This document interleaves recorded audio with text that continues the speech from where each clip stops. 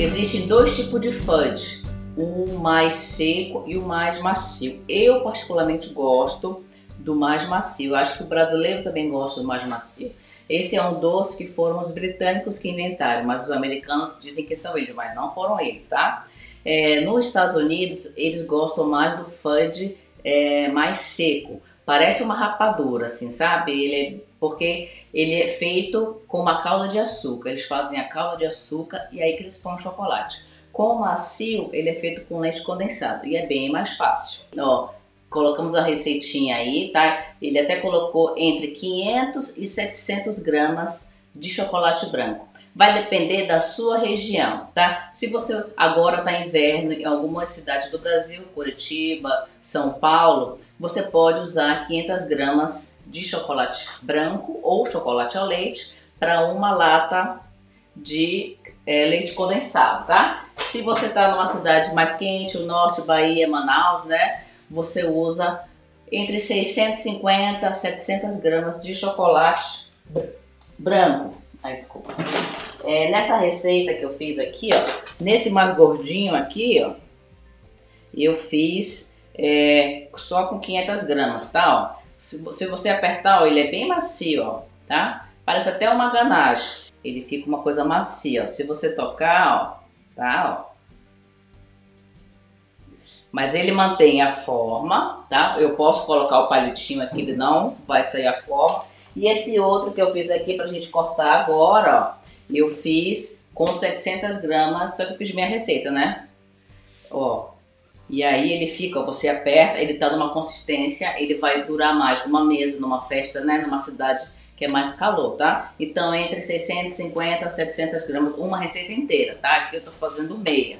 Vocês não vão acreditar como essa receita é fácil tá? E dá um rendimento muito grande e para vender, para fazer uma mesa de doces, para fazer para um casamento, para um 15 anos, tá? É muito fácil. Primeiro passo, eu estou fazendo meia receita, então vou usar uma forma de 20 por 20. Essa aqui é minha receita, ó, e olha a espessura que ficou aqui, ó. Ele vai ficar um fudge mais fininho. Se você fizer a receita inteira na, na forma de 20 por 20, aí ele vai ficar um pouquinho mais altinho. Aí vai do seu gosto. Você quer ele mais grossinho, mais altinho, tá? Ou se você quiser fazer uma receita inteira, aí você pode botar numa forma de 25 por 25. Nossa, entrou um bichinho aqui. Primeira vez. Aqui, aqui na Irlanda não tem tá bom? Então, primeiro passo. Eu tenho que botar, você pode usar tanto um plástico filme ou um papel manteiga, tá? O plástico filme é mais fácil. Aí, se não tiver aderindo ao plástico filme, você passa só assim, ó, uma borrifada desmoldante. E aí você vem aqui, ó, só deixar ele bem certinho aqui nos cantinhos, ó, o seu plástico, tá? Ó, já temos a minha forma preparada, porque quando for estiver pronto, eu já tenho que derramar ele aqui na minha forma, senão ele vai começar a endurecer, tá? É... Esse chocolate, o, teve uma pergunta se o chocolate, o chocolate branco é o comum que você usa? Isso, e tem que ser o chocolate chocolate, não pode ser fracionado, senão fracionado vai sair muita gordura e quando eu mexer ele vai separar e também o sabor não vai ficar legal, tá?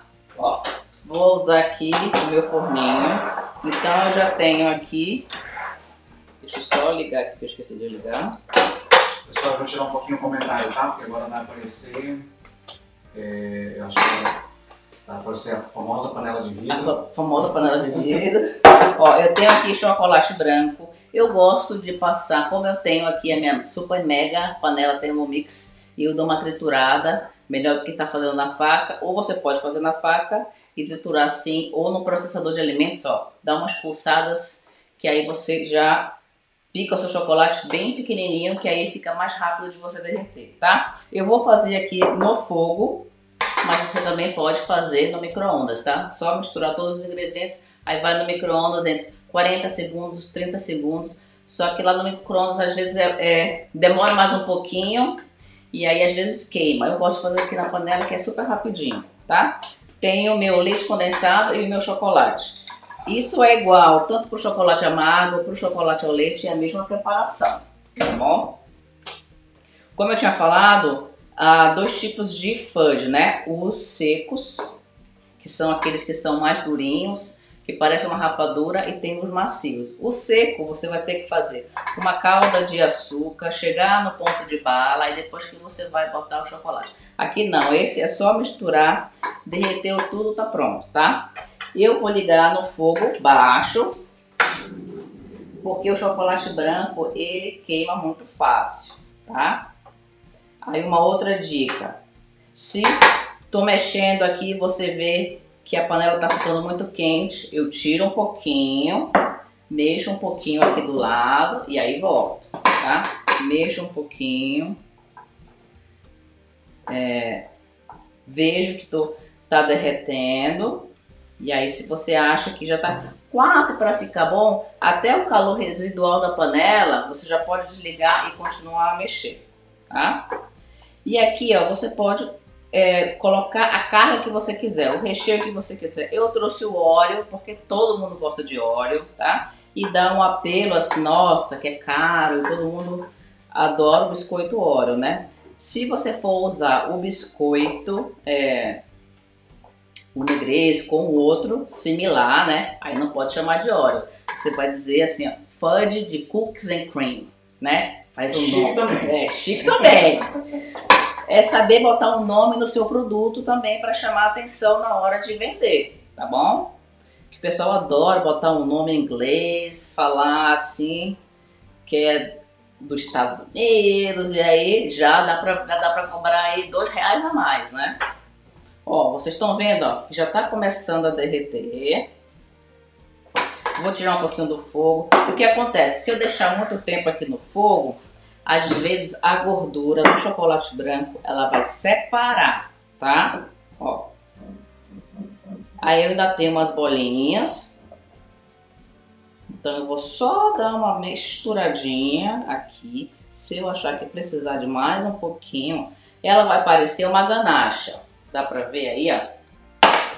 Deixa eu só botar esse meu fogo aqui. Dá pra ver aí? Mas vocês uhum. veem que ainda tem umas bolinhas, dá pra perceber, né? Então, ó, e agora eu toquei na minha panela, não tá mais quente, então eu posso voltar mais um pouquinho, tá? Pra só derreter esse finalzinho dessas últimas gotinhas de chocolate, tá?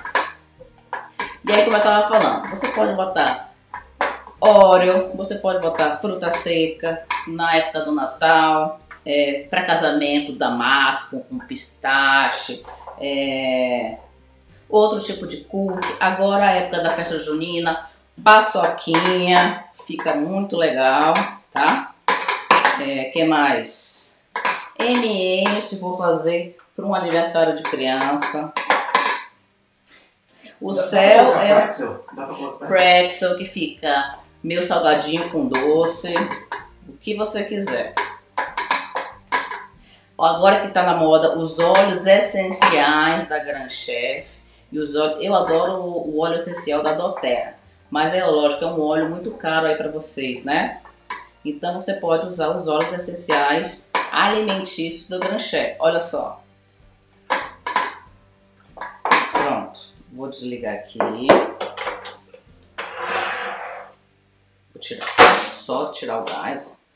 Olha aqui, ó ela vai parecer uma ganacha. Você consegue ver agora com tá lisinho? É bem, bem detalhado, né? Uhum. Ó. E isso aqui é minha receita, tá bom?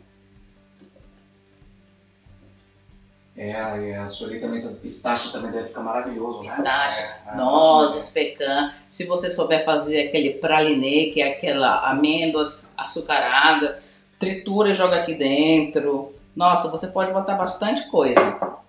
Ó, e aqui tá pronto e agora a gente vai colocar o óleo, tá? Eu piquei aqui, ó, grosseiramente para ele poder aparecer, tá? Ó, fiz com uma faca mesmo, cortei assim mais ou menos em quatro partes, ó. Dá pra ver, ó? Porque se você picar, picar muito fininho, aí o teu fudge vai ficar preto. Então é só colocar, ó, só colocar aqui, ó. E aí eu vou só envolver, ó, rapidinho, tá? Porque eu também, se eu ficar misturando, misturando, misturando, aí eu vou quebrar esse biscoito. Dá pra ver aí que eu só tô envolvendo, ó, tá? Pegando aqui a parte de baixo. Ah, daí você está perguntando se você colocar cupuaçu alguma coisa que é ácida, será que dá certo? É, eu nunca tentei, porque se, geleia eu acho que não dá, dá, muito certo. Se for o suco, eu acho que também não. Entendeu? Porque o, o que entra aqui para dar essa coagulada no chocolate é o leite condensado. Tem que ser alguma coisa seca. Ou, como eu falei, o óleo é essencial. Se você quiser botar uma geleia, aí a validade vai ser de um ou dois dias. Pode até fazer. Se você vai fazer, que vai é, vender para um casamento, que vai consumir naquela noite, dá para colocar só essa hora de envolver, entendeu? Aí na hora de cortar fica assim a geleia no meio. Mas é, não dura muito. A validade já cai bastante. Pronto. Aqui tá pronto. E agora eu vou botar aqui na minha forma, ó. É, eu tive o comentário, mas eu vou ter que tirar de novo, pessoal. Que eu acho que é? melhor. É, eu vou te desativar o comentário. Mas deu pra ver como é que ficou, né?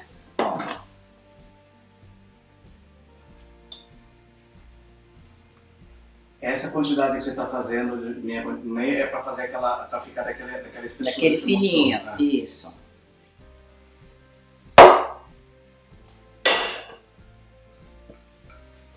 Enquanto você está colocando, você tá aqui. Ah, já terminou, né? É. Ó, e você viu, ó, não separou gordura do chocolate branco, ó, viu? O que que foi aqui? Dois, três minutinhos, rapidinho, tá? E aí eu gosto de pegar uma outra espátula, essa espátula aqui, ó, espátula que chama espátula de degrau, pra gente espalhar bem, tá? E aqui eu não posso fazer outra coisa, eu já tenho que vir aqui e espalhar, porque você vê que ele vai começar já a endurecer, tá? Ó, vou espalhando aqui na minha forma. A Camila está perguntando se não fica muito doce chocolate branco com leite condensado. Não.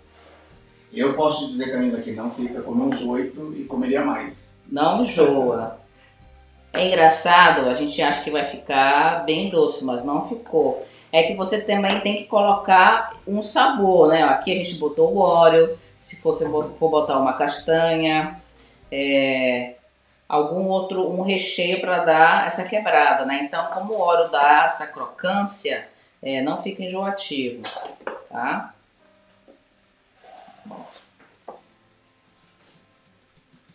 Se eu quiser ainda deixar ele mais com mais crocante, com mais óleo, agora eu posso jogar aqui mais biscoito. Eu posso vir aqui, ó, uma, vou pegar aqui um, pegar mais um biscoito desse, ó, triturar e jogar aqui em cima, ó, para ficar essa farofinha aqui, ó, tá? Vou só jogar só metade aqui, ó. Se você for vender ele assim, tá? Agora, se você for botar a pasta americana, for fazer algum detalhe, aí você deixa assim, porque agora eu vou vir com é, plástico filme, ó. Vou apertar ele aqui para deixar ele bem retinho, tá? Então eu coloco aqui. Essa parte aqui, se você for botar mais castanha ou cookies em cima, você não aperta muito, tá? Você só fecha para cobrir ele. Agora, essa parte aqui lisinha, ó, você pode vir aqui com a sua mão, ó, tá? Vocês conseguem ver aí? Só para apertar, para nivelar bem aqui, ó, os cantinhos, ó, tá? E quando eu puxar o plástico filme, ele vai sair retinho, ó. Aqui que eu tô fazendo inclinado para vocês verem, né? Mas aí você faz aqui direitinho na mesa, ó, bem com a sua mão já, já tá protegido com plástico filme, então não tem problema, tá? Ó. E aí tá pronto, ó. E aí eu gosto de botar na geladeira para agilizar, né? A ele endurecer logo, no mínimo duas horas. Ou se a sua geladeira só é para doce, não tem muita coisa dentro, uma hora, uma hora e meia. Se você tocar ele já estiver firme, já tá bom para fazer o corte, tá bom? Depois de uma hora, uma hora e meia, ó, tenho esse aqui, ó. Ah, ficou ligado aqui, ó. Tem algum outro biscoito? A Mônica está perguntando se tem algum outro biscoito que você recomenda usar? Tem é. aquele de. Tem biscoito de banana, biscoito de limão. Se você for fazer de limão, tem uns biscoitinhos de limão recheado. Aí você pode botar umas raspinhas de limão.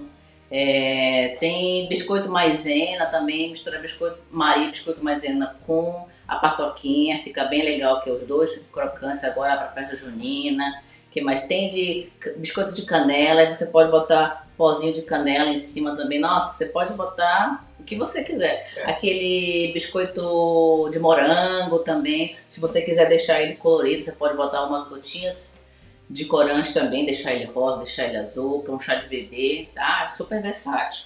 Então temos aqui, ó, o meu fudge, eu vou abrir aqui para vocês verem, ó, tá? Posso cortar usando uma régua e aí é, vou medindo aqui, você quer fazer de 3 centímetros, quer fazer de 4, aí vai da sua... Cortando, ó, ele fica bem mais rápido, ó. Deixa eu cortar aqui, ó, 3 centímetros. Ó como o corte é rapidinho, ó. Tá? Ó, Nossa. rapidinho. ó. Ou você pode usar cortadores, ó. Se você quiser fazer redondinho, é, para fazer uma mesa de doces de casamento, você pode deixar ele redondinho assim, ó, tá? Dá pra ver aqui na frente, Um pouquinho mais pra trás. Aí. pra trás? Aí. tá? Você pode cortar com esses aqui, ó, que ele tem esses detalhezinhos, ó, tá? Olha, muito fácil de cortar e muito fácil de tirar, ó, tá? Dá pra ver todo o óleo, ó, tá? Ou você vem com a faca, ó, deixa eu cortar esse aqui, deixa eu virar pra cá. E aí eu vou medir aqui pra cortar certinho, quanto é que A Camila tá perguntando se dá pra fazer com chocolate é, preto. Dá também, né? Dá. Seis. Nove. Doze. É, lá na. O pessoal que chegou agora, a receita completa tá lá no canal do Telegram, tá? E aí eu botei lá tanto com chocolate amargo e aqui com chocolate ao leite. É, ó, você viu? Cortei os quadradinhos, ó. Pronto, tá? E aqui eu tenho, ó, leite em pó. Se você quiser passar aqui, ó, no leite em pó. Vocês amam Nutella, leite em pó, tá? Dá pra fazer. Ai, desculpa. Dá pra fazer também com Nutella. Se você quiser colocar é, meia de leite condensado e meia de Nutella. Ou só adicionar só um pouquinho de Nutella pra dar esse saborzinho nele, ó. Tá? É, Márcia tá perguntando qual é a validade. Ele dura 15 dias, embaladinho, tá? Como tem bastante açúcar. Agora, se você quer colocar, como a Thaís perguntou, quer colocar geleia, aí dura no máximo um a dois dias, tá? Porque além do mais da a geleia tem bastante água, né? E aí pode é, mofar porque ele fica em temperatura ambiente, ó. Então aqui, ó, um jeito de fazer, você pode passar no chocolate em pó, no, é, no leite em pó, tá? E aí eu trouxe essa ideia para quem, tá, quem, quem não viu no começo, ó, de fazer, fazer assim também, ó. Dá pra ver? Pode fazer embaladinho, ó. Tá? Você pode também cortar ele tipo barra, ó. Deixa eu pegar. Maria tá te perguntando qual é a embalagem que você usa. Ó, pode também cortar tipo barrinha, ó, e também Ah, cobrir no chocolate, ó. Uma barrinha, fica bem bonito também de vender. Pra quem, pessoal que vende é, para posto de gasolina, tá? Ó, fiz um saquinho, ó, pode embalar no saquinho. Deixa eu deixar essas coisas aqui. Pode embalar no vidrinho, ó. Tem esses vidrinhos bonitos, né? Dá até pra cobrar mais caro, tá? Tem esse vidrinho aqui. Aí você pode botar a sua logo. Tem aqueles saquinhos. Se for fazer a receita é, com 700 gramas, aí ele consegue ficar na latinha, tá? Se for fazer aquele mais molinho com 500 gramas, aí é melhor botar numa caixinha, não botar um em cima do outro, tá bom? Senão aí ele pode amassar porque ele tá mais macio. E aí eu trouxe aqui, ó. Você pode deixar ele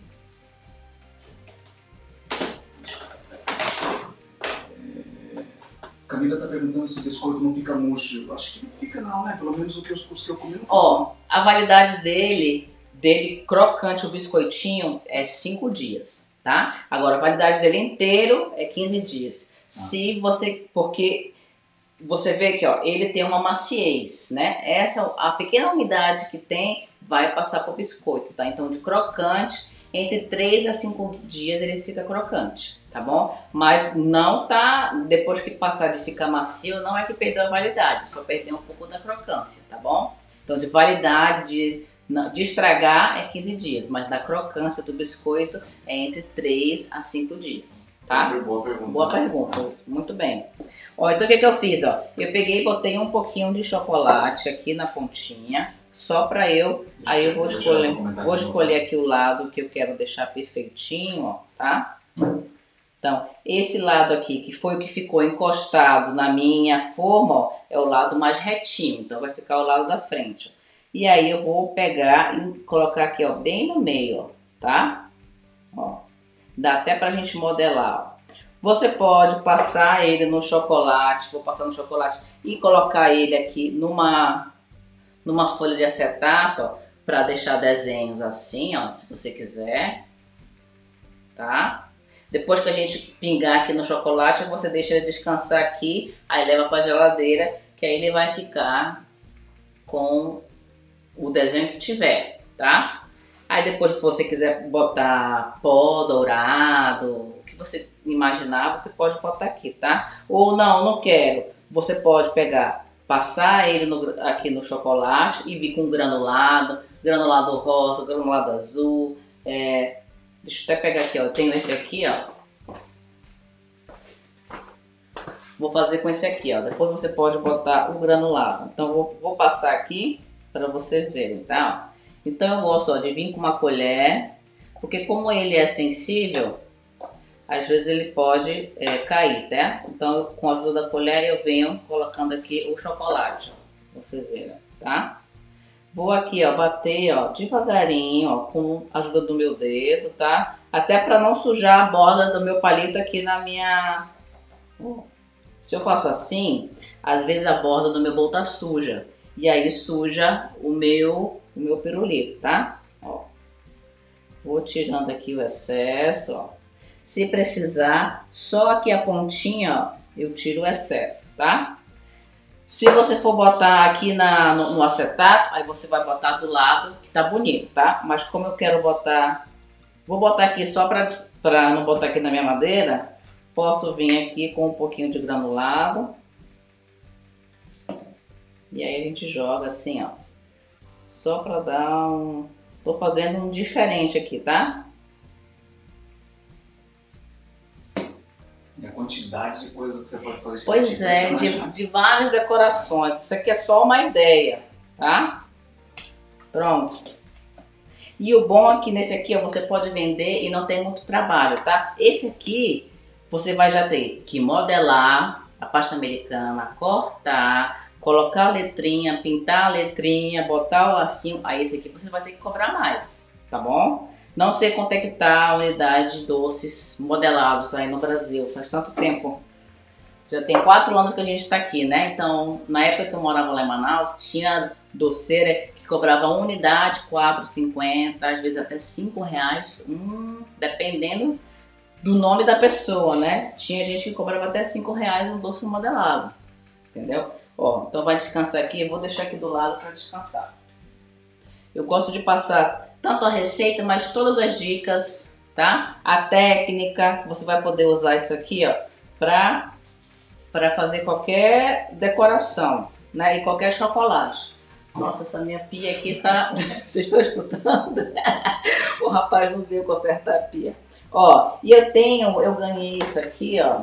É, eu tinha feito até uma live, isso aqui era da como é que é o nome da Street? Levanta um pouquinho só para o pessoal assim, mais no Instagram. Bem assim. Aí. Ó. É uma, o marcador de letra, ó. Você pode usar na pasta americana, não pode usar no chantininho, né? Porque o chantininho é mole, tá? Maneira mais fácil do que você ficar cortando letrinha, ó. Vou mostrar aqui pra você. E aqui eu tenho o meu abecedário, ó. E aí ele já vem aqui, ó, e tem... Deixa eu tirar de novo, pessoal, no Instagram aqui. Tá difícil com os comentários aqui. Deu. Ó, Aí tem a minha letrinha, eu seguro aqui, aí eu pego, ó, faço a impressão da letra, ó. Uhum. Tá? Então vou fazer aqui em homenagem ao maridão, né? O maridão Mas não se chama Romeu. Não sei se vocês sabiam do nome dele. Chama Romeu. É o meu Romeu. O Romeu e a Julieta. E aqui, ó, venho com a minha pastinha, ó.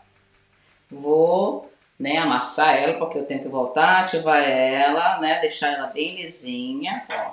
E aí vou aqui.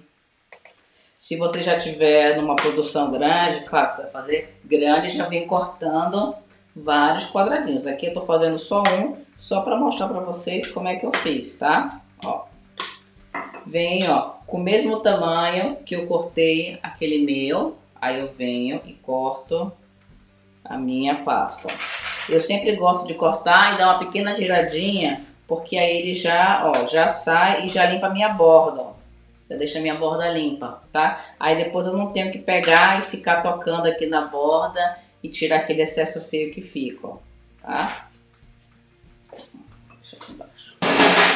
E aí eu venho com a minha letra e aí eu vou marcar. Vou marcar para mim, ai, você não está perguntando se é marzipan. Não, esse aqui é pasta americana, tá? Ó, eu pressiono. Não pode pressionar muito, senão vai furar a pasta, tá? Vou pressionar e vou tirar. Se eu achar que precisar um pouquinho mais, aí eu só pressiono aqui onde faltou, onde não marcou bem. Ó, aí fica a minha letra, ó. Tá? Aqui porque eu bati nela para depois deixar retinho, quadradinho, tá? Você pode usar um pincel e pintar aqui dentro com misturinha de álcool de cereal com é, o pó dourado, tá? Mas eu tenho essa, não sei se vocês conhecem, essa garrafinha aqui, ó, tá? Ela é uma garrafinha que tem essa pontinha, ó. É um pouquinho mais grosso que uma agulha, tá? Então, deixa eu só marcar mais um pouquinho aqui para não derramar. Eu não sei se já chegou aí no Brasil essa garrafinha. E aí eu venho, ela dá pra ver aí? Deixa assim. No Instagram dá pra ver também? No Instagram dá pra ver menos, mas dá pra ver. Eu não vou deixar ele muito inclinado, porque senão vai cair a minha tinta, tá? Eu vou deixar ele assim, ó. E aí, eu tenho que deixar a tinta cair, ó. E aí ele vai Traz um pouquinho mais pra frente, por favor. Pra frente? É. Aí, aí deu? Aí é o foco, né? Ó, e aí eu vou jogando aqui, ó.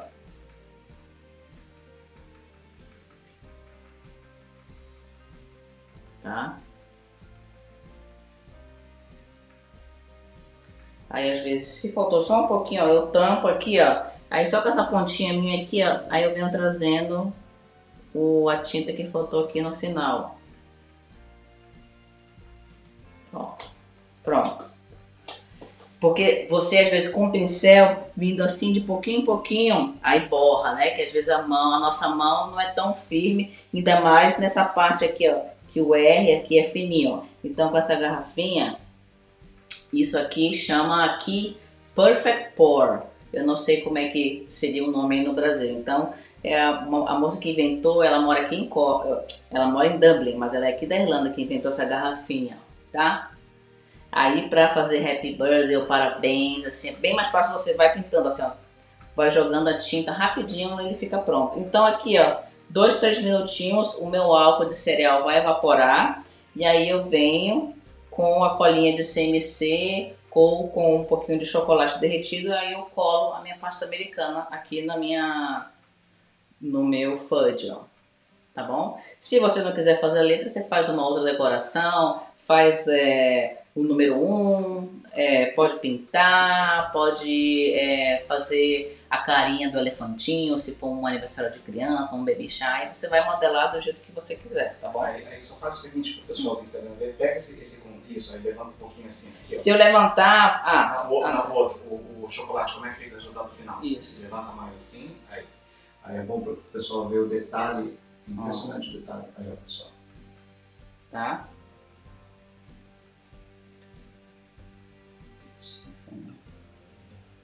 Deu? Deu. Ó, e aqui é rapidinho. Ó. Depois que eu usar, guardo aqui na minha caixinha a minha letra. E aí, é, posso fechar e guardar, tá? Super facinho de utilizar essas letrinhas. Isso aqui, isso aí já, isso aqui eu já vim vender num site aí no Brasil.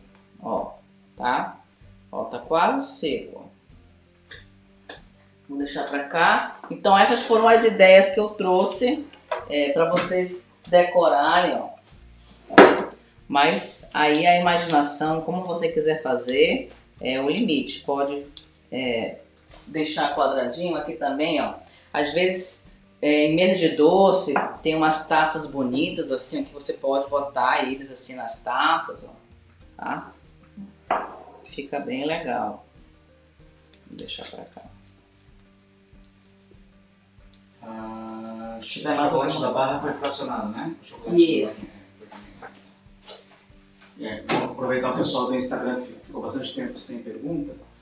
É, a Mônica está perguntando, oh. vou, vou colocar chocolate granulado porque cobre as imperfeições. É, né? ó, esse aqui, ó. É. Dá pra ver? Um pouquinho mais. Aí. Ó, esse que a gente fez agora já ficou pronto, ó. O chocolate já secou.